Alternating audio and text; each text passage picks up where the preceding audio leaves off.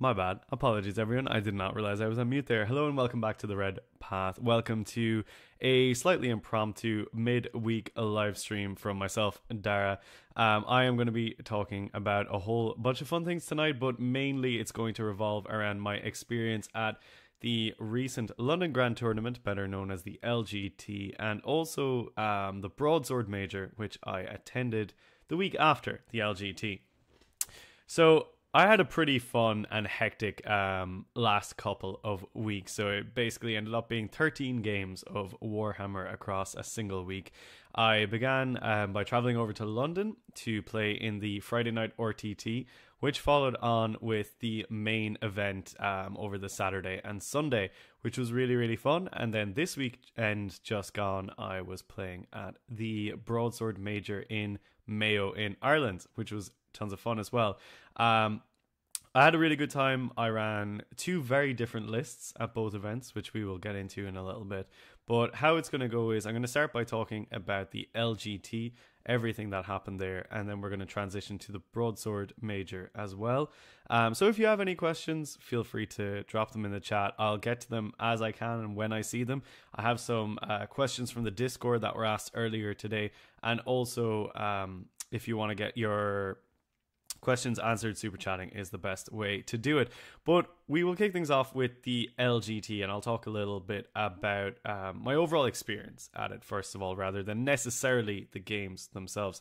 So the games were really really um, fun but the event itself was actually really well organized. Now the lgt can kind of be a little bit controversial to some people who haven't necessarily been there because um, you know, historically it had like the styrofoam terrain scandal back in the day and, and lots of other bits and pieces. And it has certainly come a very, very long way since those days. And the LGT now is nowhere near what it used to be. It's improved drastically, and um, overall, it's a really, really nice experience. So the event itself, the main event, had 760 people, um, and there was loads of side events for like Age of Sigmar and um, Horus Heresy, the Titan Owners Club, were out there as well, doing some stuff there too, which was really cool. But yeah, overall, um, the event was really well organized. There was lots of different food venues, or food uh, food trucks, basically at the side, which was great because you got lots of different options for for your lunch break. Um, there was a really good Greek street food place that we went to a lot of the time because it was number one very cheap and number two very delicious. But it was really cool because myself, Jamie, and Jack were all there for the first time ever. We actually, as a channel, um, were all kind of together on the same continent, playing at the same tournament, which had never happened before. So that was really really exciting. It was great to hang out with the guys and um, we met up with a lot of people over there some people from the red path team and other World Eater players other content creators you know it was the usual kind of hype stuff that happens when you go to these major events the vibe was obviously pretty crazy that many people in one hall playing warhammer was an intense experience um, in a really good way. And I would say my biggest criticism of the whole venue and the organization and stuff was that there was no side tables between the actual main tables. So unless um, you had like a convenient carry case or tray, you were kind of dumping your army in inconvenient places. So that was my biggest criticism of the actual event organization. So let's get on to the games. Um, and what I'll do is I'll kick things off with the um, Friday night RTT. So I almost missed my flight to London, which was tight. Um, but thankfully, I managed to to make it there. And Jamie met me over in, in London, and we uh, we went to the venue with Jack um, to play in the Friday night RTT, and that was really really fun. So basically, what we had done along with a, few other team members was that we had essentially decided to all register for the same pod in the RTT. So there was pods of eight players um, across the the day, and we had all res- registered for pod 8 because of course we had we were World Eaters. So there was four World Eater players and four non-World Eater players in our pod. Um, there was Votann grey knights tau and tyranids. And i matched tyranids for game one. I have all my my player names next to me here. So um, for game one we had matt. He was playing tyranids and it was a really really cool list. It had uh, double norns in it which I had never played against before. So it was really exciting to um, to play against them. And essentially, in this game, Matt went. Uh, so to talk about the list as well that I brought as well, I brought the same list for the RTT as I did for the um, the main event, which was basically Angron, uh, Kharn, Invocatus, two Masters of Executions, one with a glaive, one with Favorite of Khorne. There was um, a 10 man Berserker squad for the glaive mo, and there was a 10 man Berserker squad for Kharn. Then there was a 5 man Berserker squad as well. There was uh, six exalted Eightbound, three regular Eightbound, two 10 man jackals, and a rhino, which was like fine. It wasn't a, a, massively interesting list, I don't think. But yeah, so I played into Matt with the the nids in game one, and that was really cool because I was really excited to see what the Norns would do. There was like a Neurolictor and um, a bunch of other big beasties and things like that as well, which was really cool to see.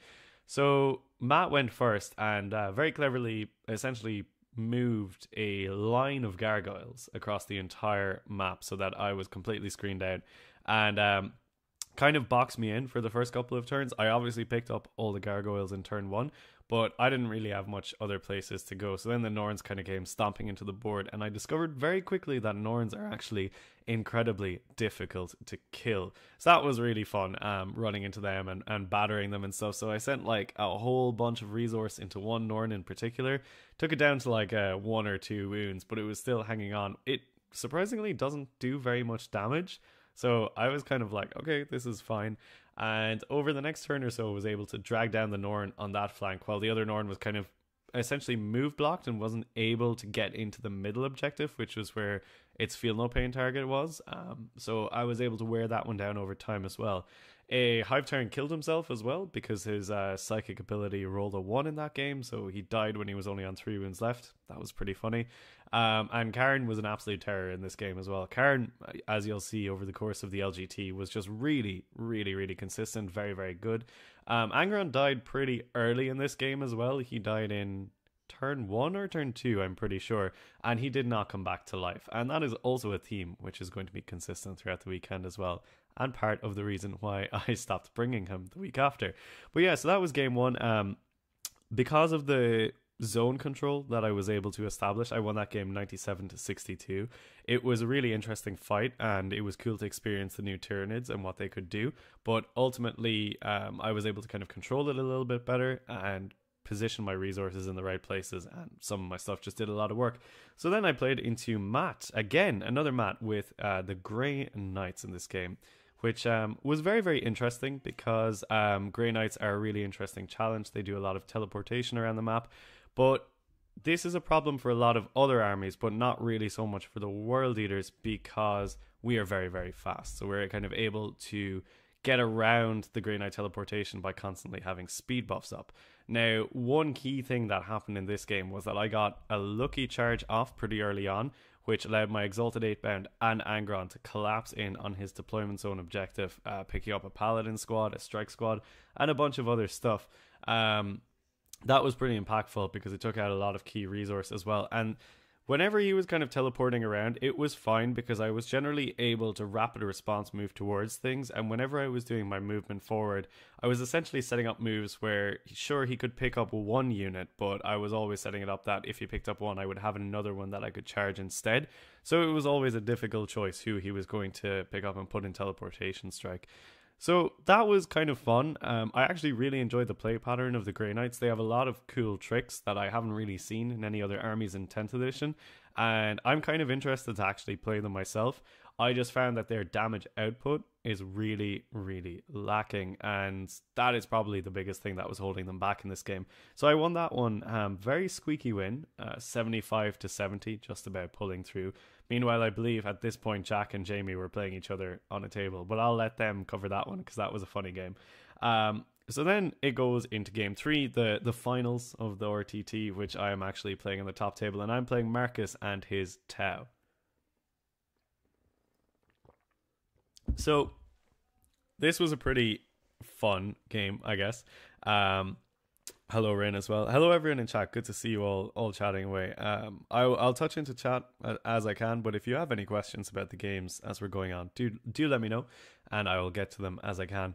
But yeah, so game three of the RTT, Marcus with the Tau. Um, it was a fairly standard Tau list. You know, there was uh, a Hammerhead, a lot of battle suits, a lot of crisis suits, all the kind of things that you would kind of expect out of a Tau list, which probably has more units than it should.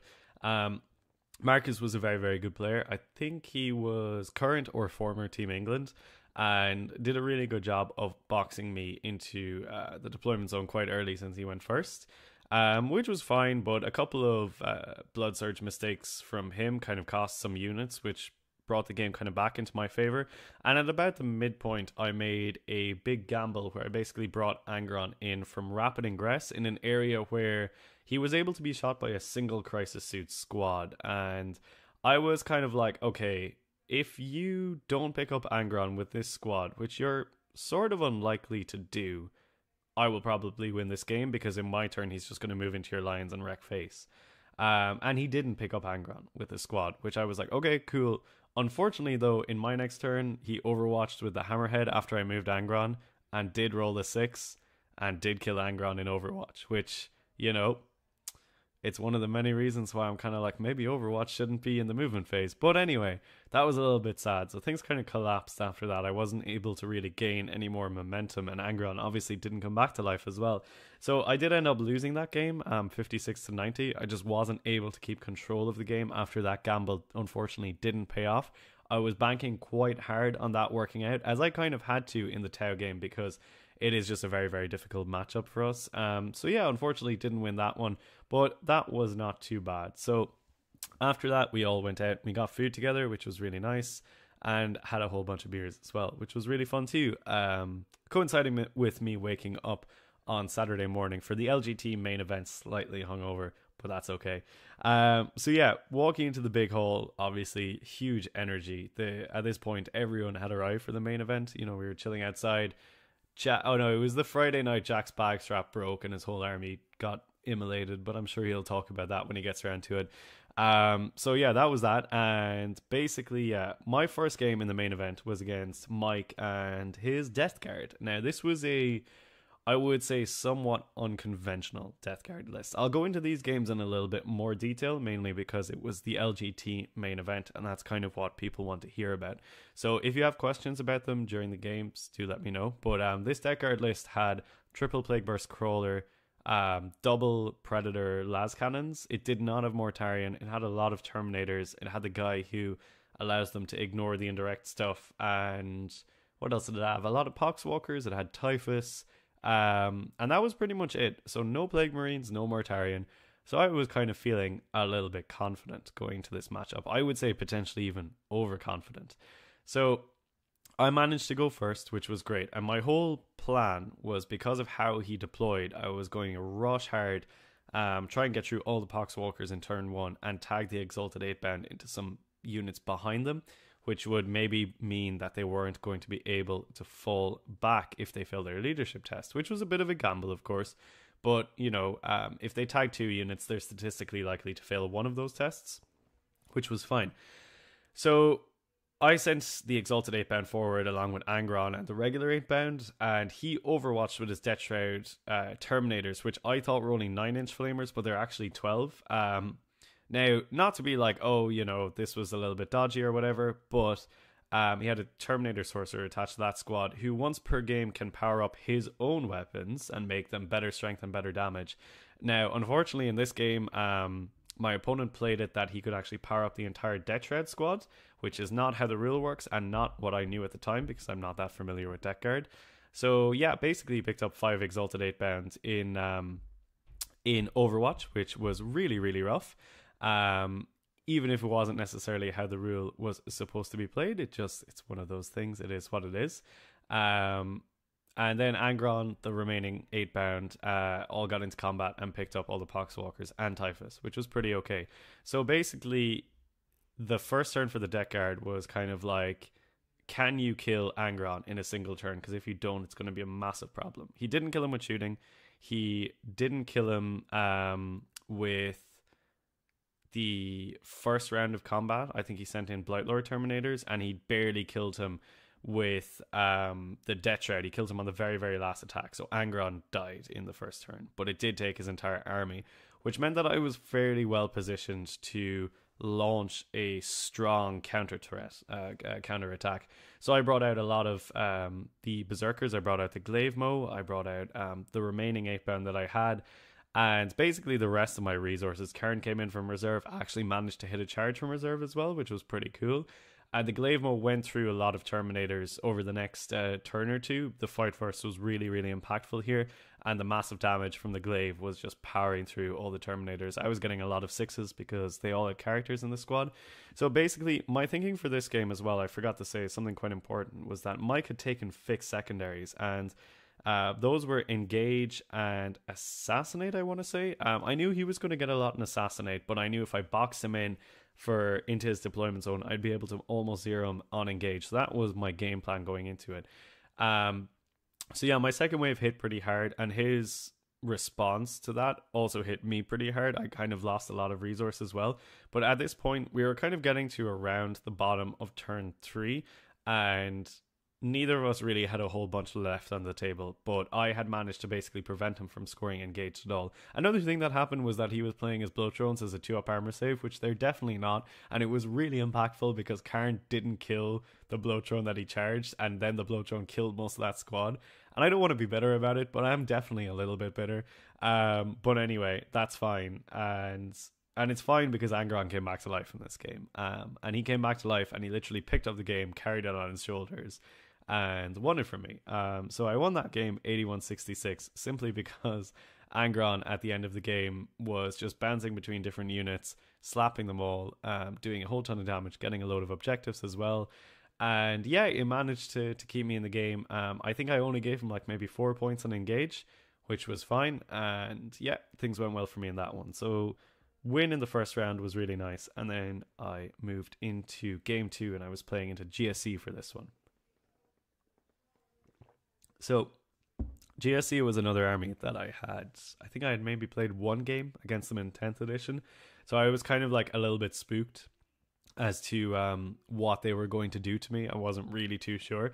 So I kind of deployed in a, a slightly passive, slightly aggressive way where, depending on if I went first or second, Invo could either pregame a lot of guys back into cover or into a, an aggressive stance, depending on what I needed to happen. Um, I went second in this game and I basically used the scout moves to essentially null deploy. So he couldn't shoot anything. So this is important. This is really important. So pay attention. Um, the only thing he could shoot in my army was Angron. And he could only shoot him with like one squad of neophytes, and that was literally it. And I was like, okay, cool. I'll put up the move bo- move boost um, blood dice because you know I'll be able to capitalize on the movement in my first turn, which is nice, and I won't need the feel no pain because Angron literally can't die to twenty neophytes, or so I thought. It turns out he can die to 20 neophytes when you only roll ones on your armor saves, and auto guns will kill you, um, which was really rough. So Angron died, and he exploded in my lines and killed two Exalted Eightbound and half a Jackal squad, which was tight. So the first thing that I did before my first turn was I went to the bar and I got myself and Adam a pint because I said this game is going to be fast and it's going to be funny, so let's have a good time. And we did have a really good time, but I got the door kicked in. It was super rough. Adam got every single respawn roll for his um for his GSC. Like they were all like three pluses or or more, and he got them all. Everything came back to life except for Angron, who didn't come back to life, which was tight. Um, so I got absolutely hockeyed in that game. It was 37-91 to Adam. Adam was a really, really good player. I don't want to make it sound like it was like bad luck or anything. Um, that the reason I lost the game, his board control was phenomenal. Like I was boxed in so so quickly. There was like almost nothing I could do. Um, yeah, so that that was really rough. Um, right, I see you saying people need to learn their rules before a tournament like the LGT. I kind of agree. Um, you know, the Death Guard game, I didn't really feel bad about it until some of my friends pointed out that uh, like quite a few things he was doing was illegal and always in his favor. Um, and it's always when stuff like that happens that I'm kind of like, hmm, that's a little bit strange, but whatever. Um, so yeah, that was that. And anyway, Adam hockeyed me in that game, 37 to 91, like I was saying. It was really fun playing against GSC. They were a really interesting experience, I would say. Um, very overwhelming having not played them before, but I feel like I would go into the next game feeling a bit more confident, understanding how they kind of operate. Um, and their go turn was really big. When they all popped up, they did a lot of damage to me. And I kind of, you know learned that uh, demo charges are terrifying. So that was that was pretty funny. Um, anyway, that was that game. So the next game I played into Joe, who was playing Custodes. Now, for anyone who may already know, um, I actually played on War Games Live for this game, which was really really cool. So you know, I I had a lot of time between round two and round three, so I had a, a you know a reasonable few alcoholic beverages, and I kind of hung out with Jamie and Jack. We are chatting about how their games were going and stuff, and I arrived back at, at my table to move my my stuff to the next one, and I saw that there was some War Games Live thing on the on the battle mat, and you know, being the brain that I have, I kind of said, oh, you know, that's probably nothing to do with me, and I just walked away. Um, and after a little while, one of the uh, referees came down and said, "Hey, did you know that you're supposed to be on War Games Live?" Um, and I did not know that. But yeah, so went up there. Uh, myself and Joe went up to Joe of War Games Live, had a little bit of a chat beforehand, which was really really cool. And yeah, um, for anyone who watched the stream, uh, the Custodes game was rough for the Custodes player. Um, it was over very very quickly because we were um, playing search and destroy deployment, which is the quarters, so the shortest deployment zone for World Eaters. And I am very, very confident in the Custodes game. I've played them an awful lot. I know how to beat them. And I knew in this game, if I went first, I was picking up a Caladius Grav Tank, which I did. Um, so the Grav Tank went away as Angron moved 22 inches across the board. And I said to myself, if he doesn't kill Angron in this first turn, the game is absolutely over. And he failed to kill Angron, um, which meant the game was over because then Angron killed the other Caladius. Now, uh, Joe was a really, really good sport about it. Um, he was ultimately quite new to the tournament scene. Um, I don't think he'd been to very many tournaments before, maybe only two or three. So it was obviously a really big experience for him, especially playing on stream, which can be quite a, a nervous kind of thing to do. Um, and I know, you know, Joe maybe got a couple of rules wrong, but it was not really a big deal at all in the game. I know some people kind of gave him gave him some flack for that on stream, which I think is unwarranted. Um, we worked everything out in the end, and it was all fine. But it was a really fun game, and I think after kind of the first couple of turns, I tried to angle it to be a bit more of a fun experience to watch since we were playing on stream rather than necessarily a hyper competitive game. Um, and yeah, we had a lot of fun. It was it was really enjoyable. But yeah, I did kick the uh, kick the Custodes about the place a little bit. So that game ended ninety five to fifty six. Um, Gabriel, I see you saying the the Custodes game was a slaughter. Yeah, it was. It was. Um, it was really rough. And yeah, Warboss, I agree. You can't memorize all your stats and and all your rules and stuff like that. And the Custodes game was the same as well. Joe didn't necessarily remember all his rules, and that's entirely fine. People don't play the game as much as as I do.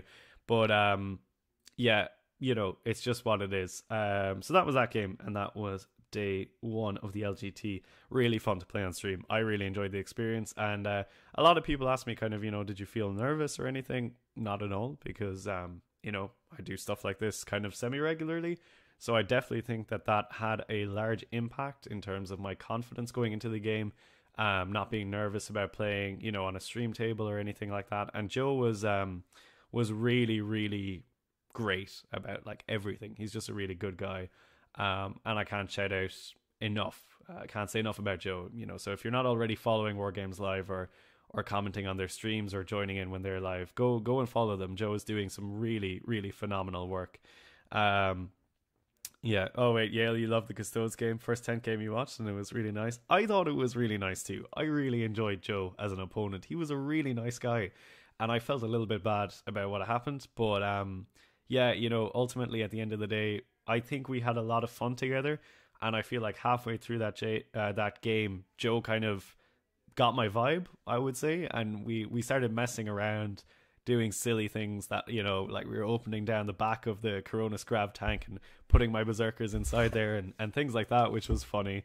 Um, so yeah, ultimately, it it kind of became a fun game rather than necessarily a competitive game, which isn't always what people want to see at the LGT live stream, you know. But um, if I doubled down and really applied the pressure in a way that would have like ended the game in turn two, it would have been a really unenjoyable viewing experience. And you know, I knew there was probably people from the Red Path watching, so I wanted to make it fun and, and interesting to watch for them too.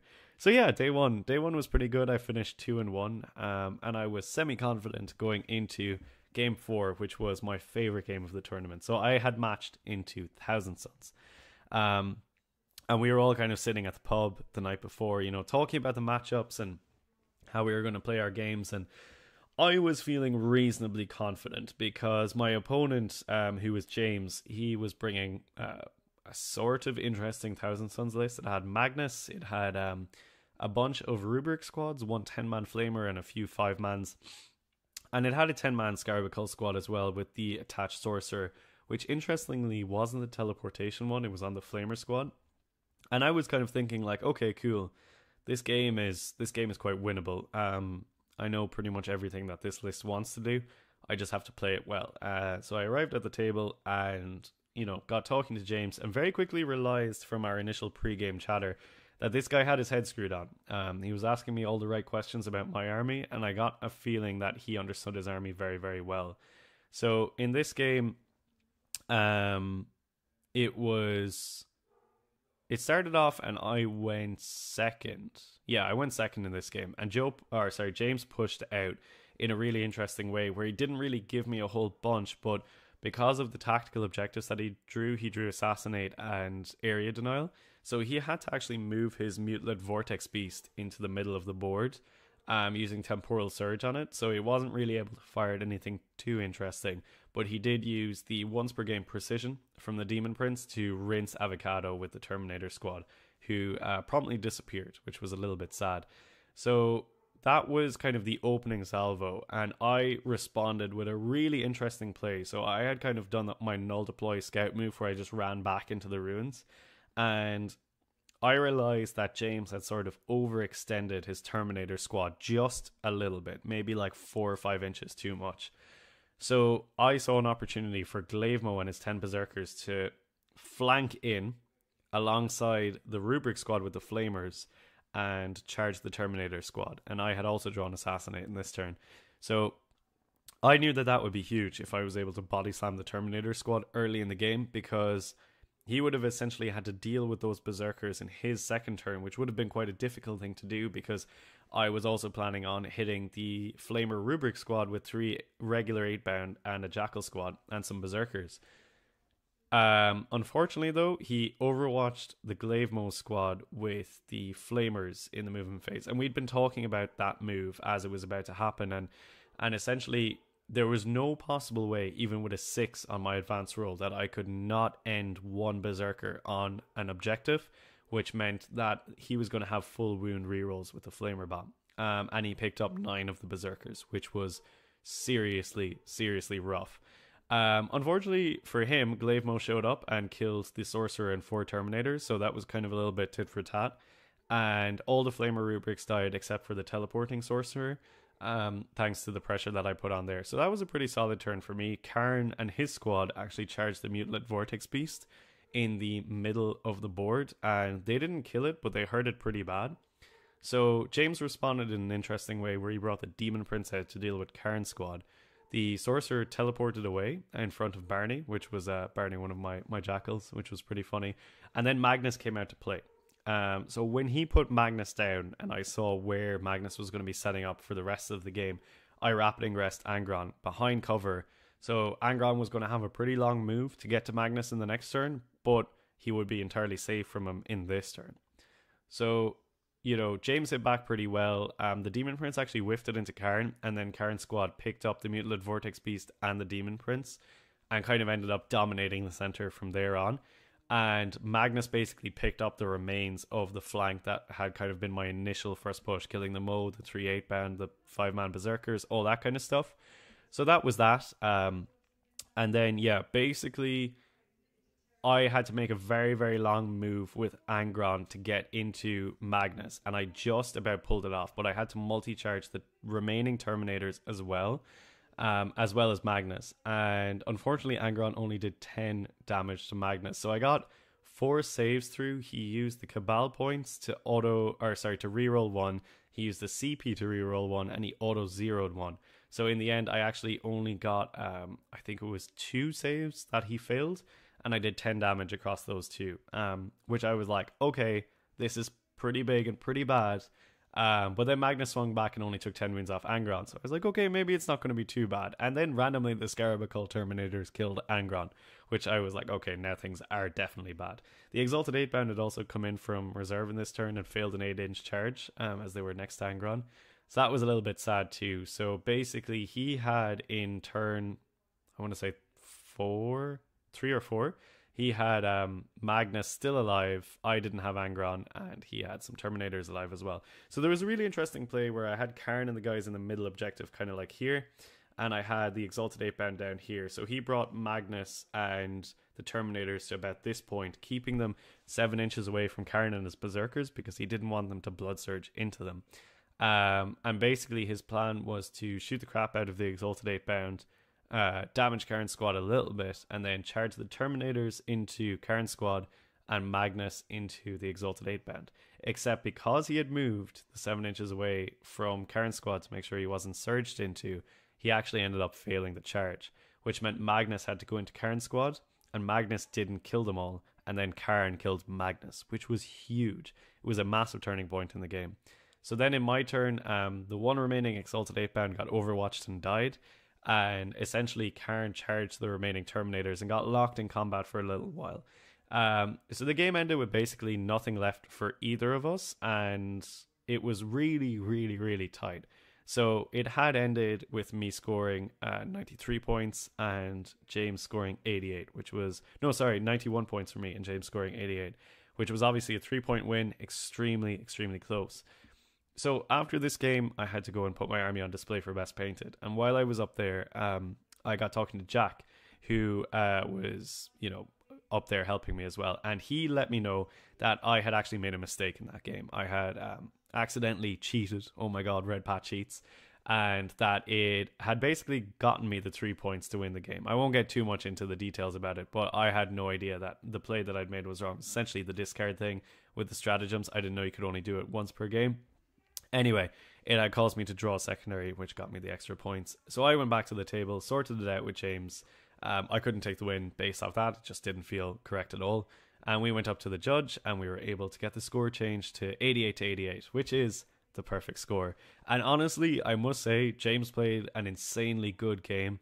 Um, it was so so tight, and a draw is honestly the fairest outcome that I think could have happened from the game. I think we both played really really well, but ultimately neither of us necessarily got the better of the other and the draw ending with it or the game ending with a really high scoring draw feels really representative of how the game should have ended. Um, it was my favorite game of the lgt beyond doubt. It was really really good really enjoyable and i'm really glad that you know we were able to get the score changed um, and that things ended up the way they did because it was really fun. So that was game four. Um, at this point, I was 2 1 1, which is fine. And I played into Robin Cruddace, um, one of the lead rules designers of GW for the final game, and his sister. So let's talk about that one after I momentarily get a bit of water. So, Kharn needs to chill, Jay. Yeah, for sure. Kharn was on a mission all weekend, for sure, for sure. Um, Yale says War Games Live commentators said it's important to showcase fun games as well as very competitive ones. Absolutely. Um, I think the fun games are, are really, really good. And Braun, as you say, no such thing as a perfect game of 40k. That's absolutely true. But I think in this instance, when I realized that something, a mistake that I had made, had changed the score differential by such a small margin, um, I I I just wasn't really comfortable with with that outcome, and I was much more comfortable with the outcome that inevitably did happen. So yeah, I played into Robin Cruddace for the last game with a fairly unconventional, I would say, sisters list. It was kind of like the best way I can describe it is it's the type of list you would expect a GW employee to bring to a tournament, where it was kind of like, yep, it's got a little bit of everything, and it doesn't really seem to do anything, which was interesting. Um, we actually played the wrong primary in this mission as well. We were both very tired, and Robin just said, This is the primary, and I didn't question it, and it was not the primary, but that's fine. Um, I had a very, very strong opening half of this game. Angron made good progress across the board pretty early on, and um, he had sort of misdeployed Morvenn Vahl in her uh, her Paragon war suits, which allowed the um, the Exalted Eightbound to rush them in turn one and pick them all up. Morvenn Vahl resurrected, and then even though he put probably three quarters of his army into the Exalted Eightbound in the next turn, they did not die. Two of them stayed alive, killed the sacresants that um, that had run into them, and they went on to basically chew through an awful lot of resources, which was just crazy. Like it was, they shouldn't have been able to do that, but they did. Um, I'm sorry if I'm the reason that Exalted Eightbound get nerfed in the balance pass in January because Robin was definitely unimpressed with their behavior. Um, Angron, meanwhile, tanked an Arcoflagellant squad that had run into him, and actually, surprisingly, on the sweep, picked them all up, even though they've got two wounds and a four up field no pain, which is really unlikely to happen, but it did happen.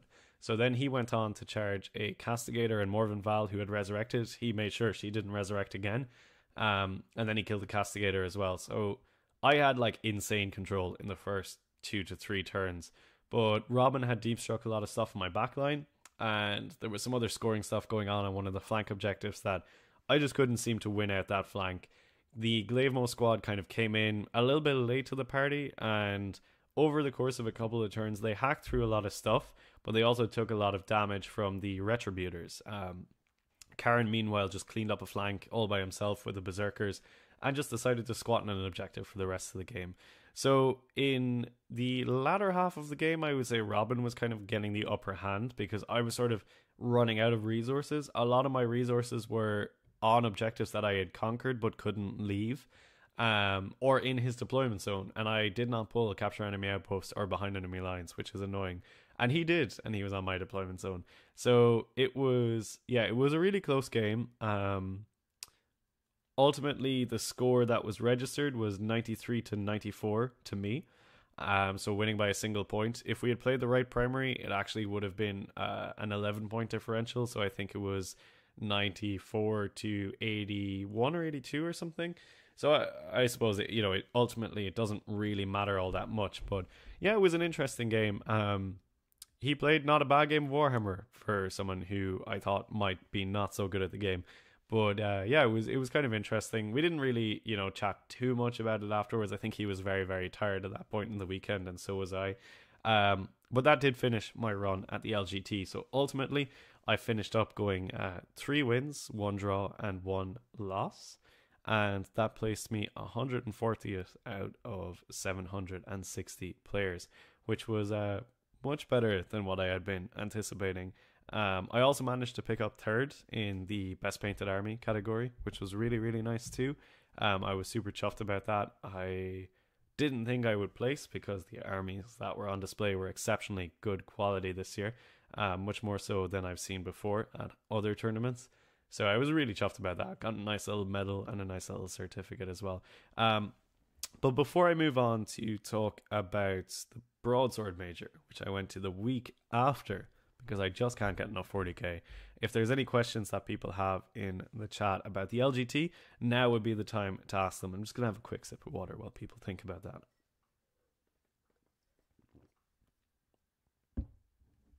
But yeah, before before we move on, ultimately my takeaways from the LGT was that it was really really hype. I would say um, if I was to compare it to the LVO, it was like thousands of times better in terms of um, consistent terrain, in terms of the level of player skill there. I I really love that all the people I played against um, were fairly similar in competitive level. Like there there wasn't too much of a gap, which was really really nice. Um, and some of the games really challenged me in a good way, in a really really good way. And obviously meeting Jack and Jamie over there, and, and a whole bunch of other people. Liam and Ross, see you hanging out there as well. We had graduate from the team too and a bunch of other World Eater fans who just kind of came over to hang out, which was really, really nice. Um, so yeah, let's see what's going on here. Uh, Don saying you love me. I love you too, Don. I wish you had been uh, refing my Death Guard game because that would have made things a little bit easier. Um, am I coming to Nottingham in January? I'm not sure yet. Uh, so I've got Coventry in November, and then I'm thinking about taking a little break for a couple of months because I've been to like ten or eleven uh, GT Plus events this year, and it's been really fun, but it's also been really expensive. so you know, um, there is that. I might go to Notts. Um, Jay, I said about staying on objectives that I couldn't move away from. Uh, did I not have the CP for the sticky strat? Um, the sticky strat you only can do when a unit dies on the objectives. So I find myself sticking objectives with jackals a lot, but I very rarely use that stratagem, mainly because I need my CP for typically the plus one to wound stratagem or the auto six advance. Um, I've used that stratagem maybe like two or three times across the two tournaments that I was at over the last couple of weeks. What was the painting quality like? It was really good. Um, the painting quality at the LGT was the highest quality that I've seen at any event that I've been to. There was a um, a Tyranids army that was like insanely converted. It was all this like xenomorph stuff going on. I can't even begin to explain. Like it was just so so good. Um, Mohawk had showed up with his knights. There was the usual masochist Imperial Fist players who love painting yellow. Um, there was a Necrorc army, a really, really well converted Necron army, converted to be like scrap orcs. There was just tons of really cool and unique armies. People had showed up, and I was really surprised to get third. I don't think I necessarily deserved it, um, but I got it, so it's fine. We all know that Vegas is better than London as a city. I mean, yeah, to be fair, where the LGT is on, it's not in London City. It's like a little bit outside.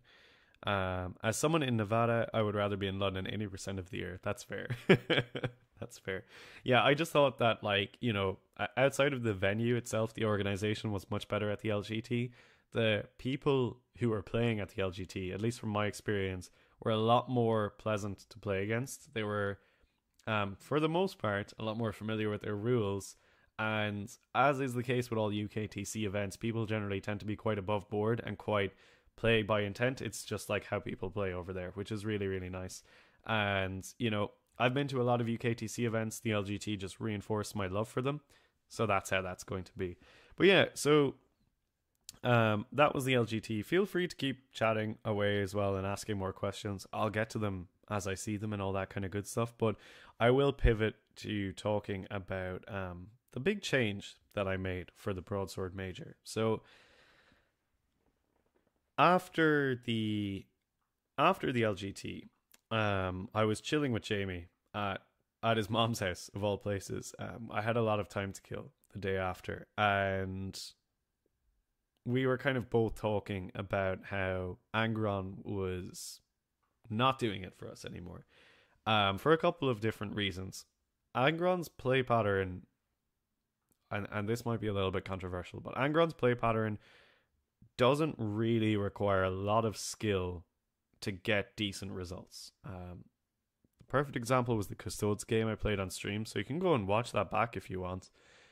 Because basically, as I said, he it didn't take any skill to move him 22 inches in the first turn and kill a uh, a Caladius, and it didn't take me any skill to just roll the saves that I rolled so that he survived in the first turn.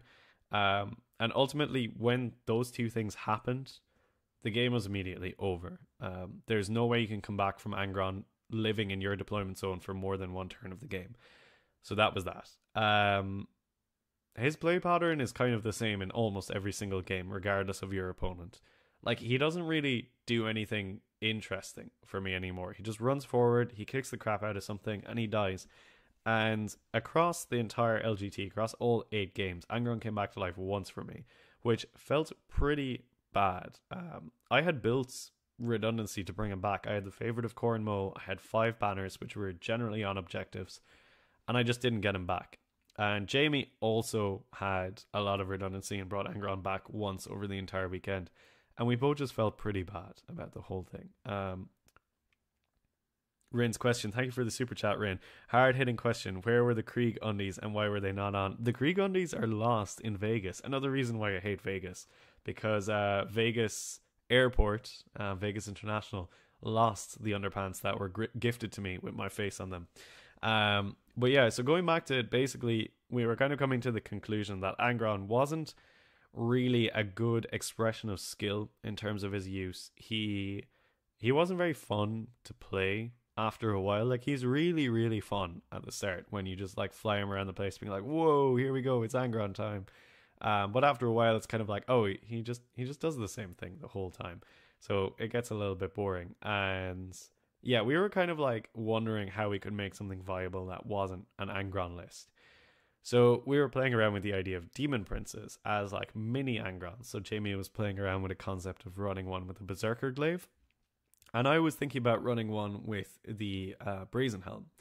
Now, um, both of these are very controversial units. People historically, since the index has dropped, have not liked the demon prince, but I kind of started coming around to him because essentially taking out Angron and taking out the favorite of Khorne Mo um, means that you get around 520 points in your list, which is enough for uh, Exalted Eightbound and some other stuff. It's enough for uh, Terminators. It's enough for a lot of interesting things. So I was building a list for the Broadsword Major. Um, with this in mind, I just I kind of hard committed after the LGT. I just said it to Jamie. I'm not going to bring Angron um, because it's it's just not interesting. And I wrote a list based on the models that I had. It's not the list that I would have wanted to bring, and it's not the list that I'm going to bring to the Coventry Super Major in November. But it was a winged demon prince with a brazen helm.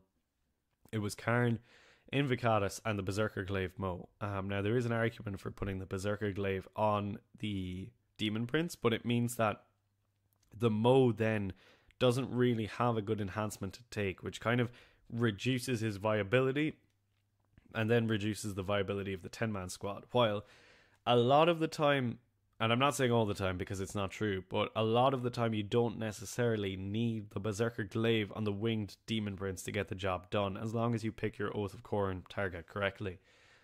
So yeah, and I kind of figured that the Brazen Helm having damage was going to be a little bit obnoxious. Um, so that was my HQ selection. Then I had two five man Berserker squads, one for the Glaive Mo, because I also realized I don't need 10 Berserkers to go around with the Glaive Mo. Almost always, that's overkill. Um, so I put five of them there. I had five pretty much with nothing, um, no attachment. I mean, they could have had an attached character, but you know, um, they were generally they didn't. And then I had a ten man squad for Kharn, who you know that's one of those things where I'm like, this is a very consistent unit that I enjoy playing. Kharn is just phenomenal. He he does so much work. Um, then I had the controversial choice of ten Terminators. Uh, I didn't want 10 Terminators. I wanted six more Exalted Eightbounds, but I didn't have them. Um, so yeah, 10 Terminators, 6 Exalted Eightbound, and 3 Exalted Eightbound, and a Rhino, and 2 Jackal squads. Um, so that was the list. It was really cool because, like, the kind of, it's hard to say, the concept around a lot of World Eater lists, at least when I'm talking in the Patreon chat and to Jamie and Jack is we talk about these things called hammer units, which are basically like a unit in a World Eaters list that can reliably pick up most targets that it charges. And in the Angron list, Angron is obviously a hammer, but generally you have like three to four hammers around him. In this list, I had five to six hammers in the list, which was really, really cool depending on how I attach things. Um, so already I was kind of like, I feel like I have redundancy here, and I was just really interested to see how the Demon Prince was going to play because I had no idea if he was going to be good or bad, if I was going to pick the Oath of Khorne target correctly, if the half damage was actually going to be as good on the table as I thought it would be. Um, and the Terminators as well was a really big call, you know, a, a unit that even with our speed boost is still slow in a relative sense. Um, and I, I didn't really value them beforehand. So they were the two big question marks about this list. So I went into the tournament with literally zero practice games and hopes and dreams. Um, so just before we go into those games, did the Death Guard game at the LGT not go well from a gentleman's perspective? Uh, I think it was like fine. You know, it was it was like not really. I wouldn't have said that like there was any problems in that sense. Um, I think he, he definitely wasn't happy when Angron resurrected, but like overall the game was fine. And I don't necessarily think that the mistakes he made were malicious. It was just there was quite a few mistakes that favored him. Um, and generally speaking, when that happens and they don't really make mistakes that don't favor them, things get a little bit suspicious. But like I can see how you would make the mistake with the sorcerer about powering up the unit and stuff like that. Um, the stuff about the armor save about the blood drones having a two up, I'm less sure if you can make that mistake. But anyway, it doesn't really matter. Uh, Jay saying Macrolore is back. Macrolore is back. I brought Macrolore out, which I was really excited about. For anyone who's um, knows the lore of my own warband, it's my my demon prince, and I was just super stoked to get him back on the table. So yeah, I was really really hyped about Broadsword. So Broadsword happens twice a year in Ireland. It's run by um, Broadsword YouTube channel, Broadsword Shop. Um, Ollie and Kira, people probably know them and it's run in Mayo, which is notoriously difficult to get to. It's like three and a half hours drive, um, which is probably nothing to most American viewers, but for for Ireland, it's a lot. So we went up after a very stressful week in work where I was trying to get my PhD proposal prepared, um, and we got there pretty late. So I went up with my buddy Jay, who I think is in chat, um, Michael, the Thousand Suns player, and Dan from um, Team Ireland. So it's it's my standard practice group. So Jay was bringing Death Guard, Michael was bringing Blood Angels, most importantly Sons of Sanguinius, and Dan was bringing um, an Obliterator CSM list. So that was really cool. We were all very very excited about it, and I I was basically peer pressured in by the guys to actually go to this event, and I'm so glad that I did because it was tons of fun. So, um, game one I played into Oshin and his demons. This game was like really cool. Oshin had what did he have? Uh, Demon Prince of Khorne. So I was immediately like, oh my god, you too. He had um, Be'lakor. He had Shalaxi. He had um, a Keeper of Secrets, and then a bunch of small demons like the Blue Scribes. He had Blue Horrors, Nurglings, all the things that you'd expect to see, and a lot of Juggernauts actually. Um, and the Juggernauts were were kind of scary. Um, so yeah, this game was really fun. I made a misplay immediately. I went first and got like overeager about my pregame moves and all that stuff, and I sent six exalted Eightbound into the ten horrors, which probably was like the worst mistake I've ever made in a tenth edition game of Warhammer because like number one, they obviously couldn't kill all the horrors because they split, and number two, even if they did, I was trading a squad of three hundred point exalted Eightbound for like horrors, which is like okay, whatever. Um, so that was a really bad move, and as a result, I lost almost all the Eightbounds, which was pretty rough. Um, and then the Terminators were kind of like waddling into the middle of the board, being like, "Okay, I guess we have to do primary now." Um, and it was really difficult to fight back from there because Shalaxi kind of came out to play, and I failed like my charge of the Mo into her, and I failed my charge of Kharn into her. Um, so then I lost those units pretty swiftly as well, which was also kind of rough. Um, but my demon prince did drop in in his backline and go to town. He like went through quite a few units and, and almost killed Be'lakor, who was the Oath of Khorne target. Took him down to three wounds, which was sick. Um, and I played like a pretty tight game in this game. Like the Terminators just like held the middle of the board, but like kind of didn't really have anywhere to go until like turn four or turn five, where they started trying to pick up the greater demons. So I was able to kill um, Shalaxi. I was able to kill the Lord of Change. I was not able to kill Be'lakor, which was problematic.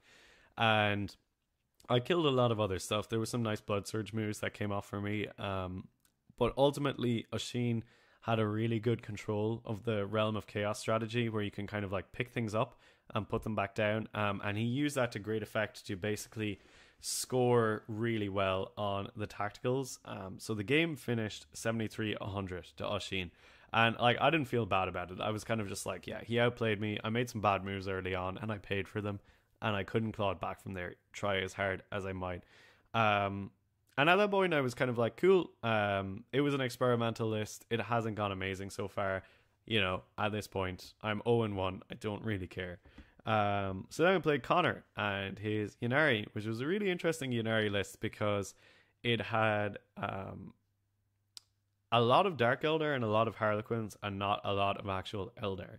It didn't have the Yncarne, which was pretty pretty big, um, but it had a lot of units that were quite difficult to to deal with. Um, so there was a lot of boats, there was a lot of Harlequin boats, and there was a lot of Dark Lances, which I was like, oh gosh. Uh, so I went first in this game, which was pretty nice, and I rushed pretty hard in this game. I rushed hard with the Exalted.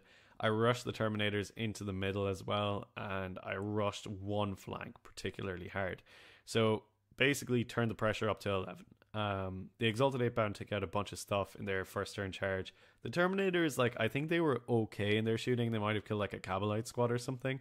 But in response, um, Connor actually picked up, like, I want to say eight or nine of the Terminators with Dark Lance shooting. Even though I had cover And I was like, okay, cool. Maybe I'll make some of the feel no pains. But the feel no pains on the Terminators is actually just really bad when it's only a six compared to the Exalted, who tanked the other half of the army's shooting and live with like two or three of them from the squad of six. Um, so yeah, you know, Terminators. What can I say? They were unimpressive in that game. Um, so basically, they all died except for like two guys who were like, "Oh, now we're hitting on twos and plus one to wound." I'm just like, I don't care. You guys can't do anything now. Um, but in my second turn, I basically counterattacked with like a lot of my berserkers. Some of them had rapid rest, and some of them came out of Rhino. Um, and I basically took up most of his army in my turn two, or so I thought, because a lot of his army was actually still in reserve. So he basically flipped deployment zones. In his turn two, he brought in like a lot of reinforcements um, in my half of the board, which was really interesting. So I had a really strong like opening two turns, but then Connor started to kind of claw it back as well. Some tactical cards came up in his favor, and then some tactical cards came up in my favor. And it got quite scrappy, but ultimately I think I was able to just run down Connor's resources before he was able to claw his way back into the game enough. So that game finished 80 to 74 to me. And it was a really, really fun game. Connor was a great opponent and he played from a losing perspective like really well. Like he did what he needed to do. His target priority was really good. Um, and his allocation of force to score points was really, really good too. And that contributed to the score actually being quite close. Um, so that was game two. Then I played Mikey, who was bringing uh, Blood Angel Gunline. Was like double Gladiator, Repulsor, um, Aggressors, two Dreadnoughts. Like there was like so many clones of that list at the the event. Um, crucially though, it didn't have any screening, and I went first, and I was just like, "Let's go." Um, so basically, I just gung hoed across the board. Uh, the Exalted Eightbound um, took a Gladiator down to two wounds the Terminators failed their charge. It was like a six inch charge into the repulsor. They just shit the bed, failed the charge. Um, then a bunch of aggressors and, and intercessors got out of that repulsor and posed the Terminators, which was rough. But they did a good job actually surviving in that game, and they kind of just held an objective and held one flank up until reinforcements arrived in the form of Kharn and his squad and Invocatus, who managed to take out that repulsor. Um, meanwhile, the Exalted Eightbound, they um, yeah, the Gladiator was able to fall back there, which was rough. And then the Exalted Eightbound got taken down to like two guys, I think, um, who were then able to chase that Gladiator down and finish it off, while the rest of my army kind of came out of the woodwork. Um, so the Demon Prince came in, started doing a lot of work, and absorbed a ton of shooting in that game because of the half damage.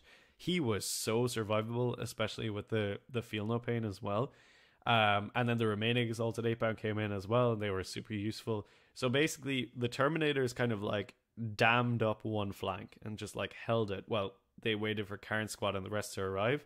Meanwhile, the other flank was just being swept by my really fast moving units. So essentially, what happens was I basically boxed in Mikey to the point where he just wasn't able to score. And that was at a really early point in the game as well. So it was pretty rough. That game finished um, 88 to 30 in my favor. And yeah, it was it was really tough. Like I I was just able to like hold in the area that I needed to hold and put insane pressure in the area that I needed to do that as well. And an awful lot of the reason why that was so successful is because the Demon Prince just dropped in, picked up his Oath of Khorne Gladiator, stood in front of the gun line and just said, I'm going to half damage and I'm going to roll a few feel no pains and you're not going to kill me because I have cover and yeah, it was just like it was really cool to see him drop in and do the thing that I wanted him to do. And yeah, I was I was really pleased about how that one went. It was a good exercise in uh, the concept of the list. I think it worked as I wanted it to work. Um, so then that was the end of day one in in uh, Broadsword. We went out for drinks that night. We got back very very late. It was like two a.m. by the time we got home. I went for for drinks with some of my opponents and some of my some of the guys, and yeah, things got a bit rowdy and, and out of hand as they tend to do at Irish events.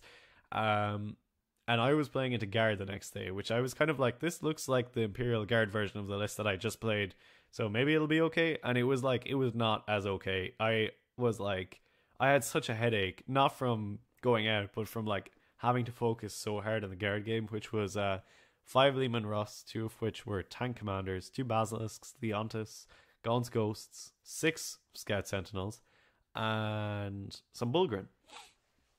Um, so I was just like, cool. I really, really, really, really, really badly want to go first in this game, and I did not. I did not go first, which was pretty rough. Um, and Stefan did a really, really good job of basically pushing all the Sentinels in front of my face and saying, "Okay, cool. Um, you're gonna have to deal with all these now."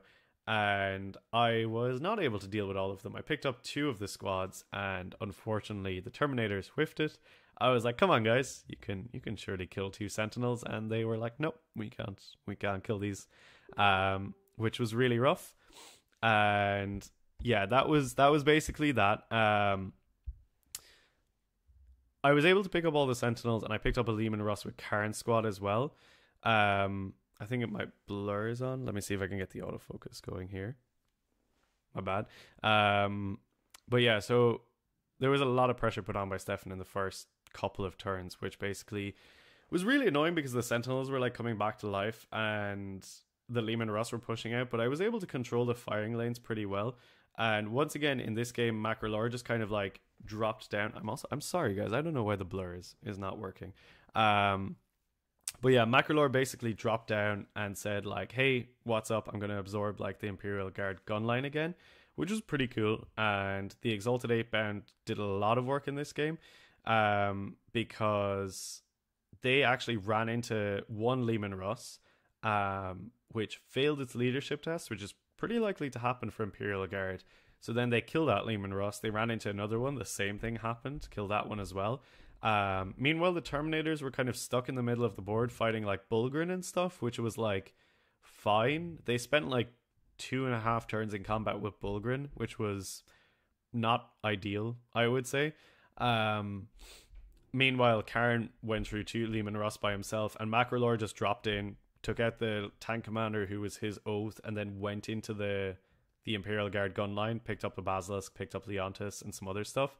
So where the Terminators were letting me down in that game by being unable to kill Sentinels and being unable to kill Bullgryn, um, everyone else was showing up, and like it just really, really showed when Terminators were wounding a Leman Russ on fives, and Exalted Eightbound were wounding it on threes. That was like the moment that kind of clicked in my head of being like, yeah, this is this is why I'm kind of leaning towards the Exalted over these guys. Um, and even into things like Sentinels, where it's like, yeah, cool, this is like tough seven, you should be picking this up, but they're just really inconsistent because the weapon profiles are kind of strange across the whole unit and yeah, I don't know. I really didn't enjoy them in that game. Um, Gaunt's Ghosts also just like appeared in my deployment zone and were an absolute nightmare for me to deal with for such a long period of time. Uh, and I eventually had to send the Glaive Mo back down there to deal with them. But the end of that game was basically I, I had tables the Imperial Guards. Um, so it was fairly decent win. I won 99 to 82. But Stefan put up a really good fight, just causing me hassle in a lot of places. Gaunt's Ghosts got him probably of those 82 points, I reckon Gaunt's Ghosts scored at least 35 of them, maybe even more. Um, they were obnoxious. But yeah, that was that was a really tough game. I came out of that one like stressed and tired, being like I had to really play very hard in that game. Um, but once again, it was carried by the the Terminators and or not the Terminators, carried by the Exalted and the Demon Prince, who dropped in and absorbed like so much shooting. It was ridiculous. Um, Pardo, I see you saying that's the problem. I'm sending Terminators into vehicles. I was sending them into like it was a mixed bag. When they went into like elite infantry, they were fine.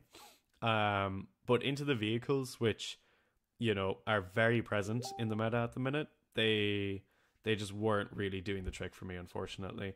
Um, yeah, so so that was a little bit rough, I think, for them. Um, Termi Strength 10 is good into vehicles, yes, until they become Toughness 11, and then the Exalted Eightbound just really come out on top in that in that fight.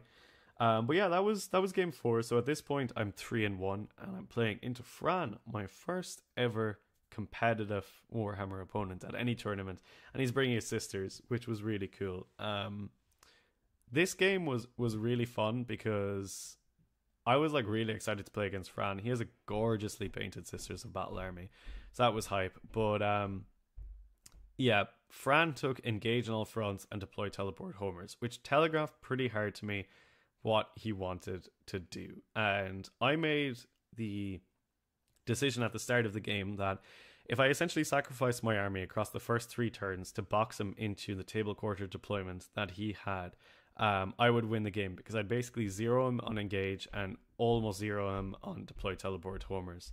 Um, and I did that. I went first and I launched the Terminators forward. I launched some Berserkers forward. They dealt with all the screen, um, which was fine. I only wanted them to kill the screen. That's why I sent five Berserkers forward. And I just stood the Terminators in front of his deployment zone and I said, Can you kill 10 Terminators in cover in one turn? Um, and he killed nine of them, which was nuts. Like the Terminators in this game did what I needed them to do. And because he had to put the entire gun line into those Terminators, my second wave hit like a freight train. I had Exalted Eightbound coming in, I had Kharn and his guys coming in. Um, the one remaining Terminator just went on an absolute bender and killed a load of things as well. Um, yeah, I was able to basically keep up an insane amount of pressure for the first three turns of that game. And the outcome of that was by the time that Fran was actually dropping in things like the Assassin and the Daemonifuge to score his secondaries, I was picking them off with things like uh, the Demon Prince who dropped in, things like Jackals, small Berserker squads, and I had hemmed in and essentially eliminated most of the high level threats from the sisters. So the Glaive Mo just showed up in this game, walked through Morvenn Vahl, walked through the Triumph of St. Katherine, walked through a Zephyrim squad, eventually got to an Exorcist, and I was just like, dude, you're showing up in a big way.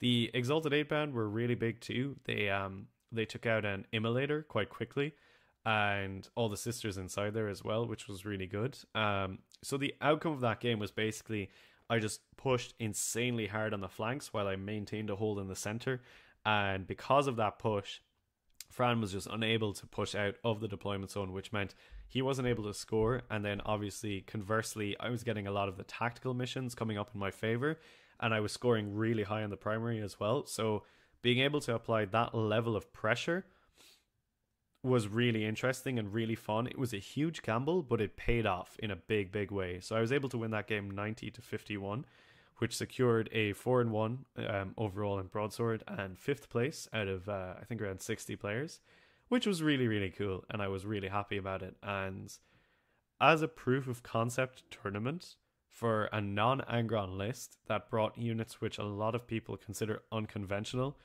I was really really, really proud of myself for what I did. Um, I thought it was a really good result.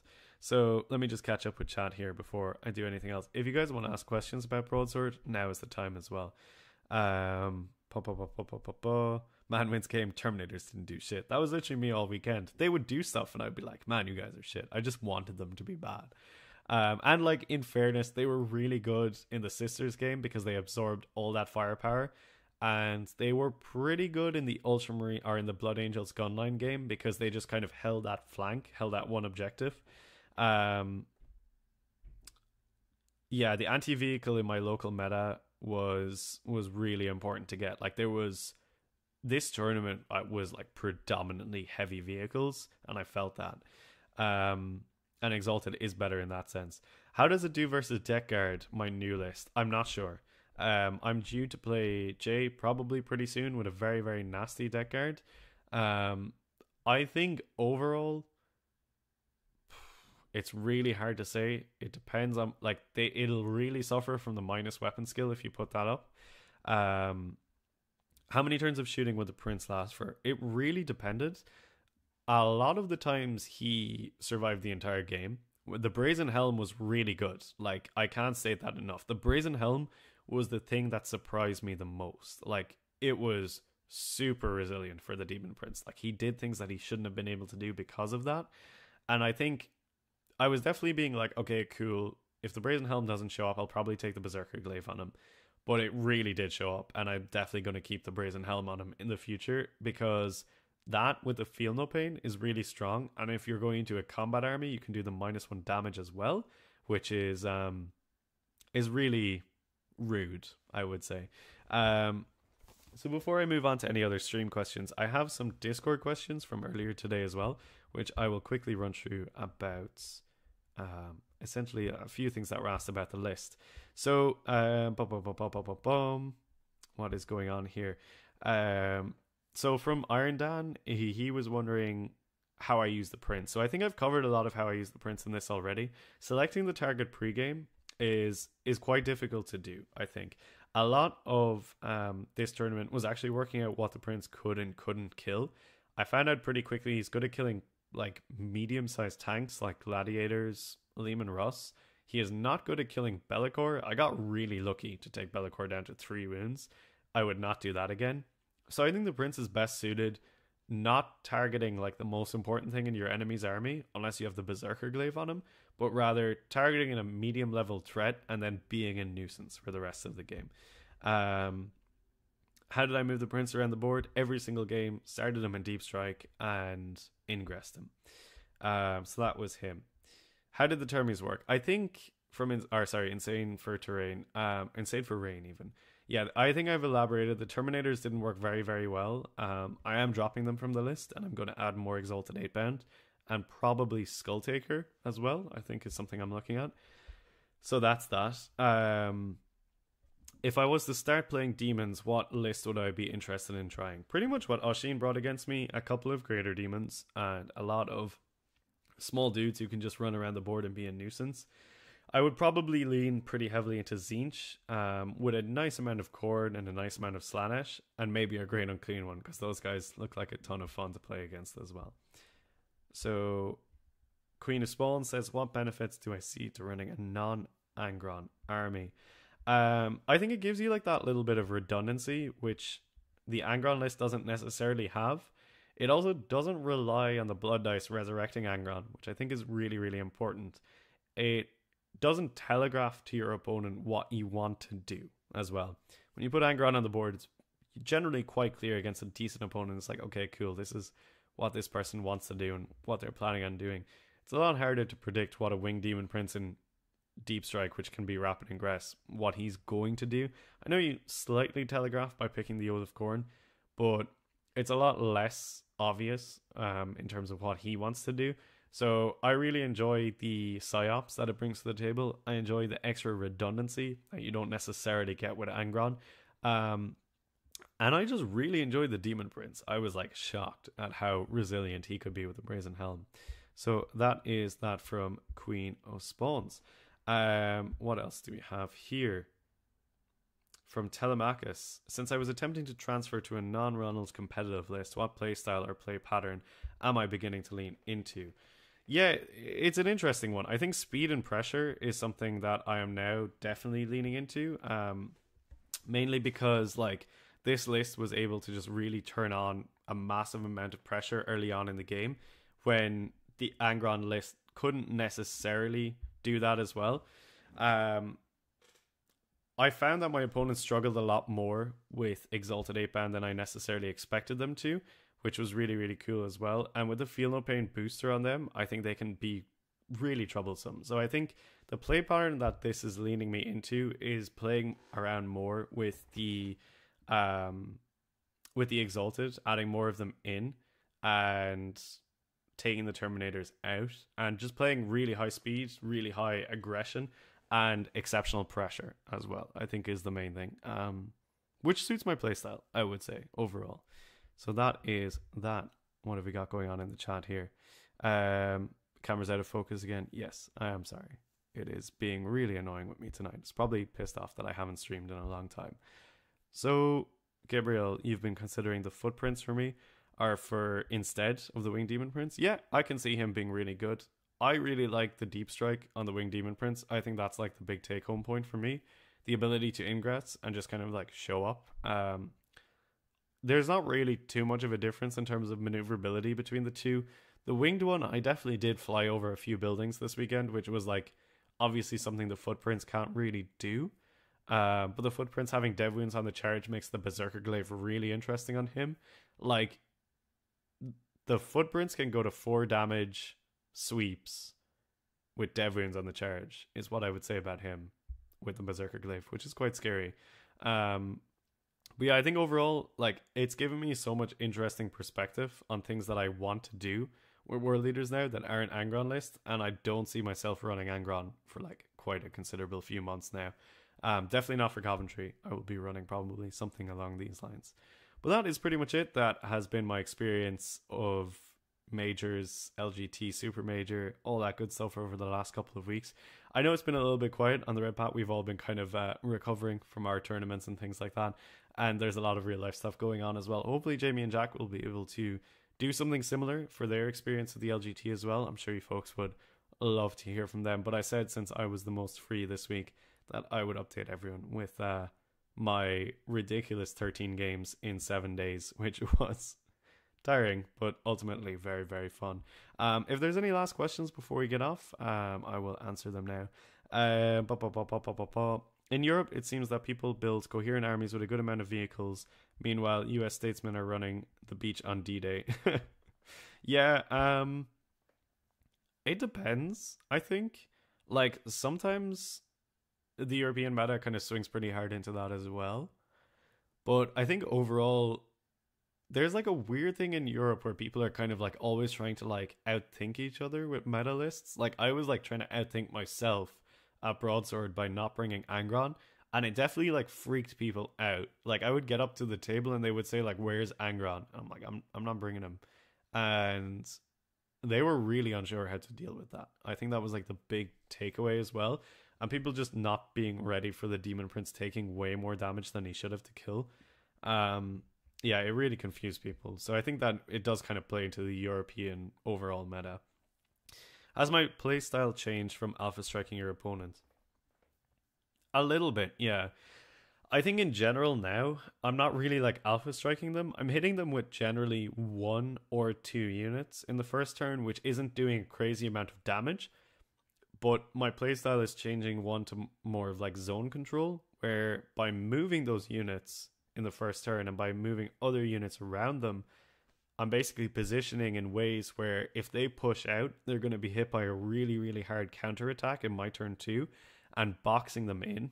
Um, so I think I'm I'm really enjoying and leaning into more of a zone control playstyle, which I haven't really played in so many words before. I was always kind of playing the multiple wave um, style of World Eaters, which I am still definitely playing with this list, but I'm using it in a way to zone out my opponent from the areas around the map which are very important. And I think that's not necessarily a list change thing that's kind of caused that shift, but rather me playing a new army, which has caused me to have to get better and understand how to play the mission better as well. Um, is my opinion on that. But yeah, I think that is pretty much that. Um, that about covers the two events. Anyway, I had a ton of fun over the last couple of weeks, like playing a stupid amount of Warhammer. And I'm really looking forward to Coventry, which is coming up in November. So if any of you folks are planning on going to the Coventry Super Major, I will be there. I think Jack is going to be there as well. Um, and it's going to be tons of fun. I'll be running a non Angron list, probably a variation of this, which uh, I think some of you in the Patreon comp channel in Discord have already seen.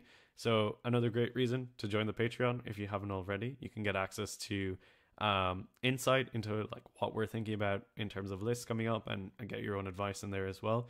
Um, and as always, obviously, you know, support the channel in in kind of whatever way you can. Likes, comments, subscribes, all that good stuff. Um, what is Oh yeah, Gabriel Pardo for the Sentinels, numerous T6 units. Yeah, the Sentinels were obnoxious. I think like the list started with like six, and I think in total it ended up with 12 because of the amount of them that resurrected. It was so annoying. that guard game, I was just like, I had a migraine after that game. It was so tough. Um, but yeah, so thanks so much everyone for hanging out in chat and chatting away. Um, I hope you found the stream interesting and, you know, leave a comment down below if you enjoyed it. Thanks for the super chats, help support the channel, all that good stuff. And you'll be hearing from me, Jamie, and Jack very soon. Painting streams are going to be back from next week on Twitch. So make sure you're subscribed and following our channel for that so you can see me painting um, what will be some very interesting alternative Eightbound models that I'm working on for Coventry. Um, but until the next one, folks, I've been Dara and you've been watching The Red Path. So stay healthy, stay safe, and kill, maim, burn.